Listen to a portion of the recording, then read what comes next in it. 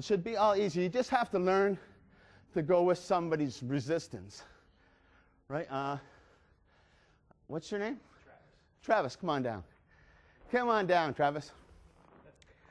Travis comes to punch. As he comes to punch, and I went with his energy. Now you felt how that felt, and see where I am.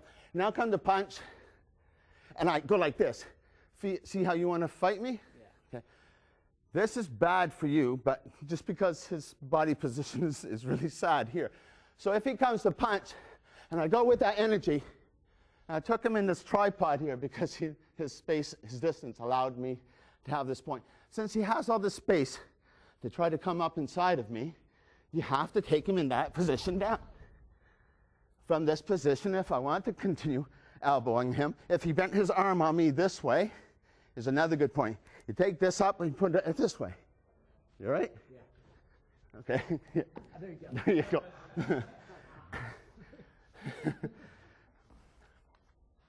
Everything that you do, if, if you're coming to punch, and let's say I'm not so good, and he's all ready to fight, his next punch comes, a bit harder.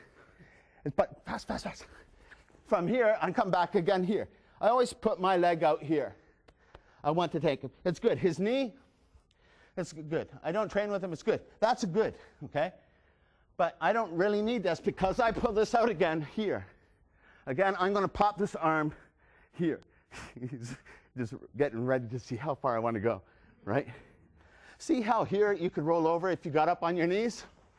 Right, now roll back over for me. Now do that again.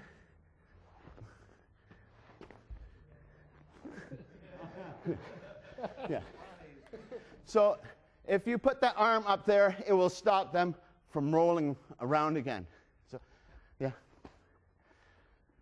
Play around. If anybody, come up with something different. Or if anybody has any questions on an arm lock, come on. Please uh, share them with me. If, uh, how much time do I have? It is, ah, you're always trying to have that straight arm. You want to, somebody's, if somebody grabs my arm, I want it to be here.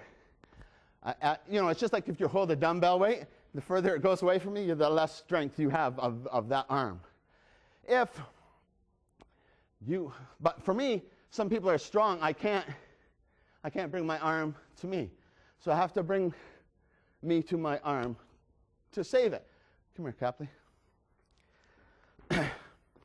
All these arm locks, it doesn't matter if it's a punch, if it's a grab, if it's a push, everything is the same.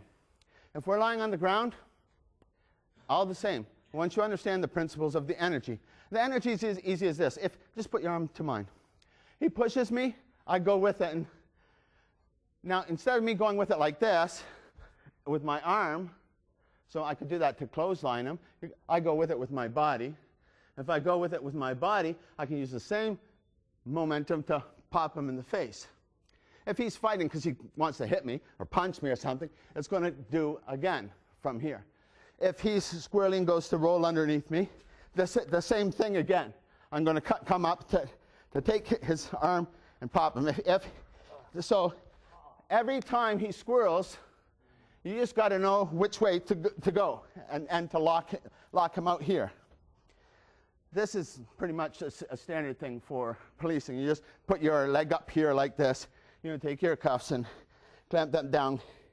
Take his se- second hand. You just pull him this way. He'll bring it. They comply. Pain makes people comply. It's really effective tool. Then you hold the arm up. If you wanted to cuff him, you can cuff him. If, uh, let's say he comes to punch, and as he punches, I go to take his arm, but it's bent. He's pulling it back. The energy I have to go with. If I go with the energy from pulling it back, it'll just fall into place. Some people, they'll learn how to go with it. So let's play with this. I come to punch him. He takes my arm I, I, and he pulls this back. And then I come back and say like this.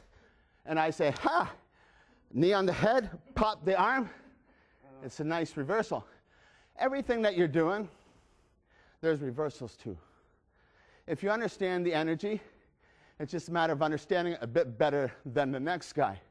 So if I come to punch him and he goes to do an arm lock and he, he sees me fighting and he pulls it back this way, see the energy? See where the energy's going? Instead of me fighting this, I go with that energy.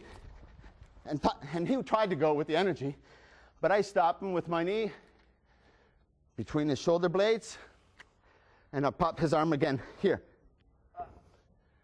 It's kind of easy. So everything will fall into place. Now, I can't get, if I'm here and he's trying to, and I'm like this fighting, the, he can never put me in an arm lock. So when people see stuff as a pitcher, as a static pitcher, and go, he couldn't make me do that, they're really missing the point. The point is somebody's fighting energy. You're adapting into that guy's energy and utilizing it against him. If we're in this position that down and he's uh, on the mount uh, on top of me, it's no different. The energy comes at me, I shoot to the side, redirect that energy out. You follow me? It's, it's easy for here. If I, want, if, I, if I want to go to an arm bar, I'll just stretch it out and then redirect them back here again and put my, here uh, I'm putting my elbow beside his head to keep his body away from his arm and then just pull this out. If I wanted to take it with one arm, I take it with, I have an added bonus, a wrist lock at the same time. Most arm locks, most arm locks that you do, anytime he comes to punch, as, as he comes to punch, and I went with that, I have the wrist always, no matter what he does. If, I'm, if he's fighting it, he goes back. If he's turning with his other hand, I go with that energy, popping it back in. Again, I have a choice of which arm I want to rotate. You always turn somebody over by the wrist. So if I wanted to turn him over this way, he'd turn over this way. If I wanted him to turn over this way, I could just pick him up, pop the arm here, it's done. If I wanted to pop it back in here, it's done. It, it all depends on where somebody has fight.